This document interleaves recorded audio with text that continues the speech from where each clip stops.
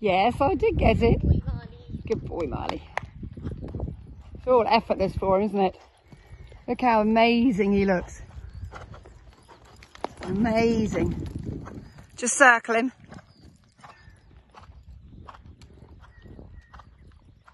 He's so rideable. Considering you've had such a tough winter with all the rain, very little turnout. I mean, like really little turnout. No grass because it all got, you know, just sort of squished and everything. He looks incredible. Good girl, Els.